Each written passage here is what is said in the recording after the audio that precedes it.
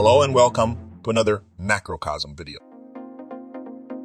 On the 14th of February, the romantic ambience of Valentine's Day extends not only across our world, but throughout the expanse of the universe.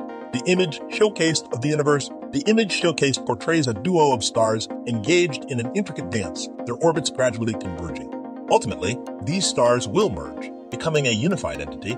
However, the narrative is not as idyllic as it may initially appear. When this stellar embrace transpires, approximately 700 million years hence, their fervor will spark a cataclysmic supernova event. In this case, it will be the fiery demise of not just one, but two stars.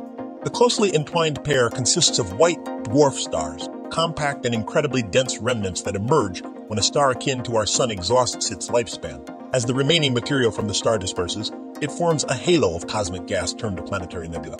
Upon fusion, these two stars will possess an aggregate gas quantity nearly twice that of our Sun, rendering them the most substantial duo of white dwarfs ever detected.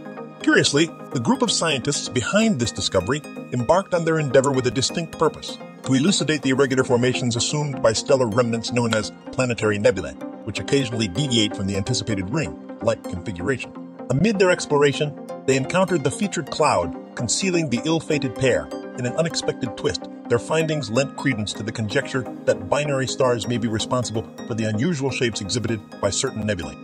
Amazing fact white dwarfs, being the culminating stage in the life cycle of numerous stars, including our Sun, rank among the most ancient entities in the universe. And that's all for today. Hope you like this video. Stay connected to get more knowledge about the space. Please like, share, and subscribe to our channel.